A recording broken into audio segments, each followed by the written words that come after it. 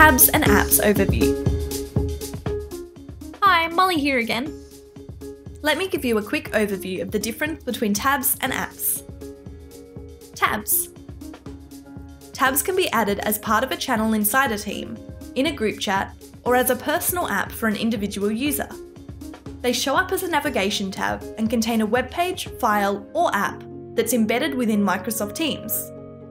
These can be super helpful to show things like a planner to make everyone aware of your team's roster, or an important document that needs to be easily accessible.